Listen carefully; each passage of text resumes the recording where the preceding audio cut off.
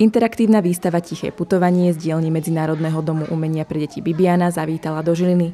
Tu prevedie malých aj veľkých príbehmi z celého sveta. Krajská knižnica v Žiline s radosťou prijala ponuku Bratislavskej Bibiany, e, či by sme neuskutočnili výstavu, e, ktorá putuje po celom Slovensku. Je to výstava Tiché putovanie, to znamená, že e, knihy sú v podstate bez textu. Vybrali sme kolekciu 130 kníh z 35 krajín sveta tak sú to knihy, ktoré sve, nemajú vlastne písmená, ale neznamená to, že by neobsahovali žiadne príbehy.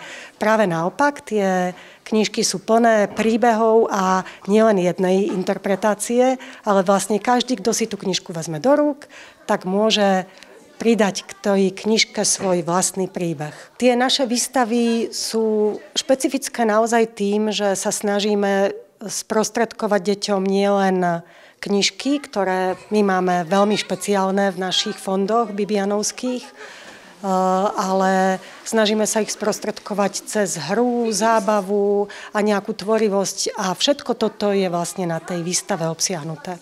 Inšpiratívna výstava plná krásne ilustrovaných kníh však neponúka len rozprávkové príbehy a diela sa často dotýkajú aj spoločensky náročných tém.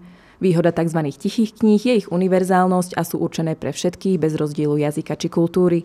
Na to, aby im čitatelia porozumeli, stačí ich vlastná predstavivosť. Sú tu knižky, ktoré sú vhodné pre deti od dvoch rokov až po knižky Leporela, teda tam sú aj rôzne skladačky pre túto vekovú kategóriu, až po naozaj tých tínedžerov, až pre takú tú dospeláckú kategóriu, kde naozaj sú knižky, ktoré sa dotýkajú takých ťažších tém, ako je migrácia, ako je životné prostredie a ako je vlastne taká sebahodnota, sebaúcta, vlastne nejaké hľadanie samého seba. Pozývame či už školské kolektívy, e, deti zo školík, ale aj rodičov s deťmi v popoludnejších hodinách, aby si prišli tieto knihy pozrieť, aby si prišli zahrať hry, ktoré sú k tomu e, určené a aby sa potešili z tých nádherných ilustrácií a kníh, ktoré máme hore na druhom poschodí.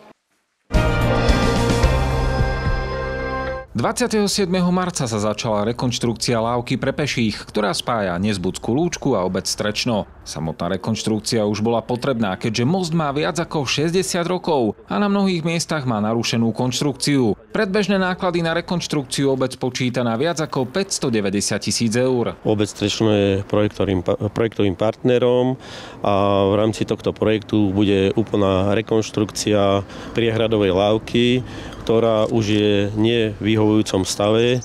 Preci zub času sa podpísal pod e, koróziou a táto lávka má momentálne vyše 60 rokov. Rekonštrukcia lávky počíta s úplnou uzáverou, čo naruší dochádzanie ľudí do zamestnania a detí do školských zariadení. Obmedzenie bude trvať e, cca e, do 9 mesiacov. Samozrejme snažíme sa vytvoriť e, podmienky pre občanov či Strečna, či Nezbudskej Lučky a vyhovieť im maximálne a výjsť v ústretovosti. E, preto s prevádzkovateľom e, miestnej kompy sme dohodnutí, že túto kompu budú prevádzkovať už v skorých ranných hodinách až do neskorých večerných, aby mohli títo ľudia prechádzať e, do zamestnaní, do škôl a za infraštruktúrou. V prípade nepriaznivého počasia obec počíta aj s náhradnými riešeniami prepravy, či už posilnením diálkových autobusových spojov alebo zapojením niektorých dobrovoľníkov. Samozrejme v prípade nepriazňa e, poveternostných vplyvov, ako je veľmi nízka hladina vody, e,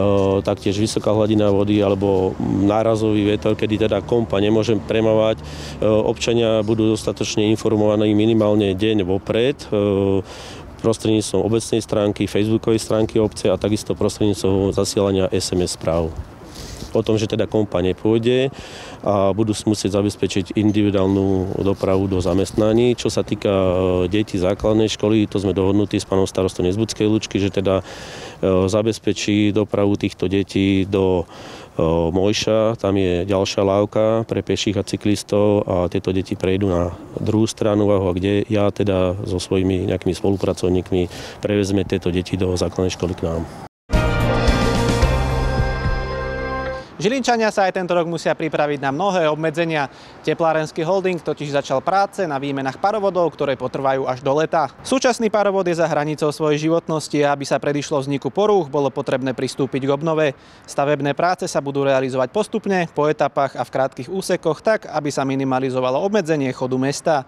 Teplárenský holding prislúbil, že sa bude snažiť, aby dodávky tepla a teplej vody boli obmedzené len minimálne. Harmonogram prác je rozdelený na etapy.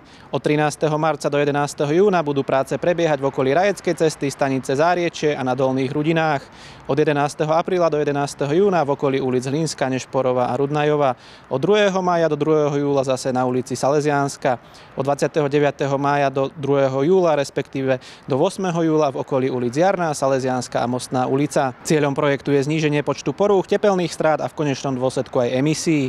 Voda je totiž na prenos tepla lepším médium ako para, čo sa odzrkadli aj v celkovom znížení strát tepla v rozvodoch o 10 až 15% Stavebné úpravy existujúcich rozvodov tepla a zmena média z na horúcovodné si vyžiadajú celkové investície vo výške viac ako 10 miliónov eur.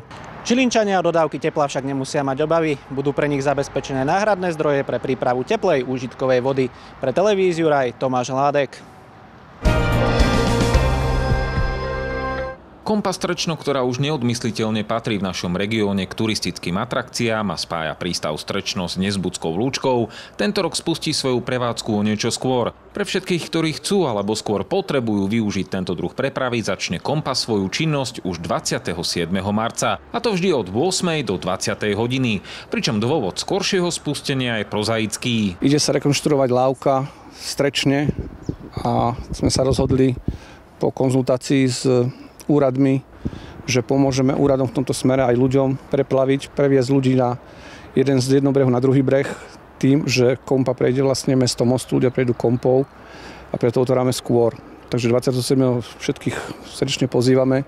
Pokiaľ budú potrebovať sa prejsť cez rieku Váh, tak už dá sa povedať, že jedine kompo, lebo most už nebude funkčný. Keďže nedaleký most pre peších bude v rekonštrukcii, prevádzkovateľ kompy vyšiel obyvateľom a pracovníkom firiem v ústretí a zriadil mimoriadne prepravné časy. Mimoriadne časy na plavbu sú dohodnuté predbežne od 4 hodiny 30 do 8 ranný čas plavby a večerný čas plavby od 20 hodiny do 23.30. To znamená, že kto pôjde vo večerných hodinách, bude chcieť prejsť z jednej strany brehu na druhú stranu brehu.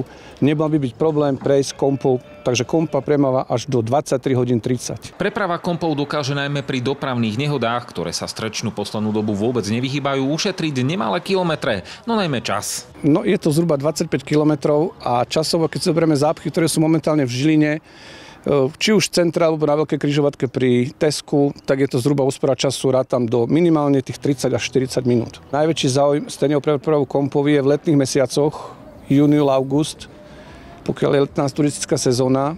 No a v mimoriadných situáciách, pokiaľ sa stane nejaká dopravná nehoda pod Strečnom, čo nebýva výnimka pomaly každý deň alebo každý druhý deň nejaký problém, tak vtedy je enormný záujem o prepravu kompu. Nakoľko si ľudia sú bezradní, bezmocní, nevedia si poradiť, tak už využívajú aj kompu, aby sa dostali čo najskôr do svojho cieľa a bezpečne sa prepraviť tam, kde potrebujú.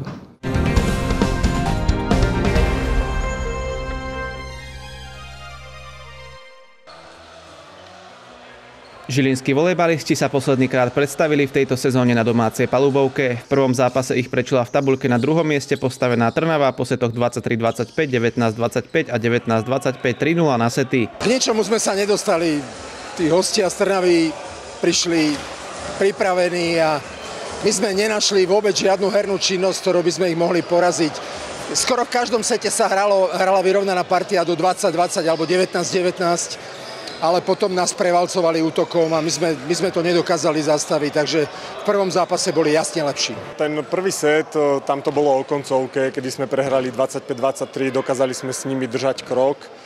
Tie zvyšné dva sety, my sme si nedokázali dobre prihrať, boli sme slabší na útoku.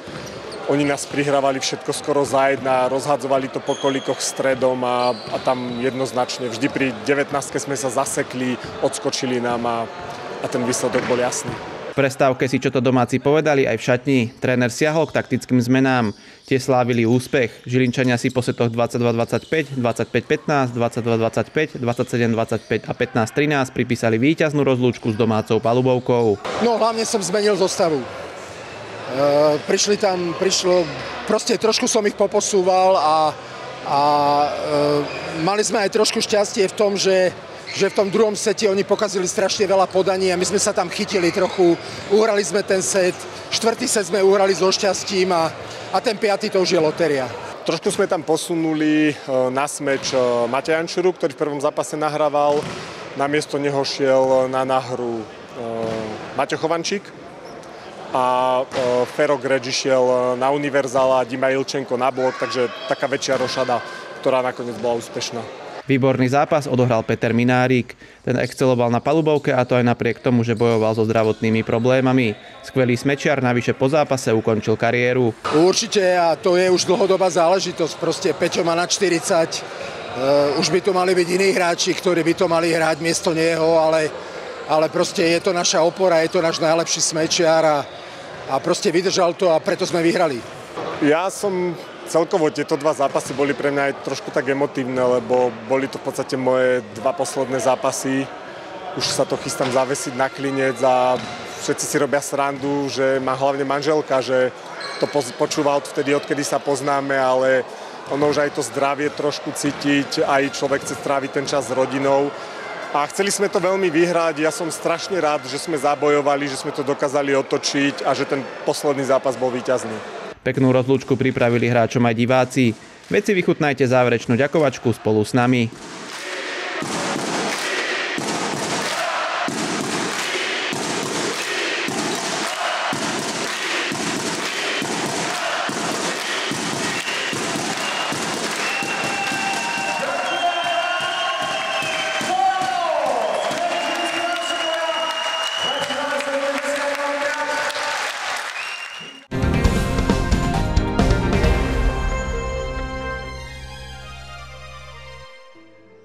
Jarná časť už naplno odštartovala aj na dedinských trávnikoch a my sme s našou kamerou zavítali na zápas lídra 5. ligy Eška Bela, ktorá hostila štvrtú závažnú porubu. Domáci mohli ísť do vedenia, ale Rolček trafil vo 8 minúte tyč. Následne však už Rolček nezaváhal a Bendíkov center umiestnil hlavou do siete. Ďalší gol sme už stretnutí nevideli a tak si Bela pripísala 3 body do tabulky. Pred zápasom sme mali toľko problémov, či po organizačnej stránke, či po zložením kadra. Videli ste, že dneska sme tu e, boli veľmi oslabení, množ, e, hrali, e, o to krajšie to víťazstvo. Fakt musím znova, už niekoľkokrát musím povedať, že mústvo v týchto kritických a ťažkých chvíľach fantastický výkon podalo, hlavne bojovný výkon, zodpovedný, takticky vynikajúco. Čakali sme si na jednu príležitosť, ktorá prišla, náš nový hráč a nový strelec Mároš Rolček perfektne to premenil po Benďovom centri a potom sme si to už tak rozumnou hrou udržali do konca zápasu, takže maximálne spokojní. Tak rodilo sa to ťažko, lebo už pred zápasom sme mali nejaké problémy s chalami, ktorí sú v robotách a No, bolo to ťažké. My sme vedeli, že my môžeme z tohto zápasu len získať v takej zostave, aké sme boli. Chalani bojovali, tí, čo nastúpili, ukázali, že sú platnými hráčmi tohto mústva a môžeme s nimi rátať ďalej. Tréner Holubek musel v zápase improvizovať. Kvôli spomenutým absenciám dostali šancu mladíci. Tí sa jej chopili viac než dobre. Je to vidno, že nespoliehali sme sa na Mareka a museli sme všetci zabrať. Takže celé mústvo super dneska bránilo a hlavne sme po sebe nehúkali ako vždycky, ale sme sa pozbudzovali a prinieslo to 3 body domov. Trénovali hlavne, e, musím povedať, že obidva dorastenci, aj David Chovanec, aj e, Samo Ďurana, fantastické výkony, presne tam západli, splnili to, čo sme od nich chceli, do zodratia hrali, takto to má byť, takto majú dorastenci naskakovať. Sme veľmi spokojní, že ďalší naši odchovanci naskočili v tejto ťažkej súťaži. Kto však stabilne podáva dobré výkony je brankár Tichák, ten si poradil aj s dvoma šancami Kondulu v 28. a 56. minúte. Tak v prvom polčase som vedel, že mi ho na ľavú stranu nebude dávať, takže hráč nemal na výber. Mal som aj to šťastie, že som mu len šuchol prstami. No a druhú, v druhom polčase to už bolo len o náhode, že on vystrelil, ja som sa tam hodil a nejako to vyšlo.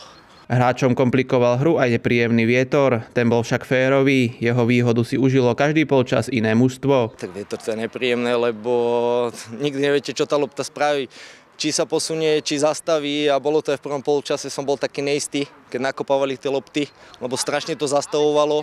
No a v druhom polčase sa to otočilo a už to prelietavalo. Bela si upísala Maroša Rolčeka len pár dní pred začiatkom jarnej časti. Ten sa kormidelníkovi odďačil za dôveru hneď premiérovým gólom v jej drese. Prišli sa tomu hráčovi tak náhodným spôsobom, sme zistili, že býva, akože sa je presťahovaný do Belej. Uh, mali sme problémy, alebo máme problém momentálne s útočníkmi, z rôznych pracovných alebo iných dôvodov neboli, tak sme tento transfer spravili na poslednú chvíľu. Uh, odhrali jeden prípravný zápas za nás a presne splnil, čo sme chceli. Rozhodol, bol veľmi nebezpečný, bol tam v ďalších dvoch šanciach. Musím zase povedať takisto, že je to aj po stránke povahovej vynikajúci chalan, tak sme, sme radi, že ho máme.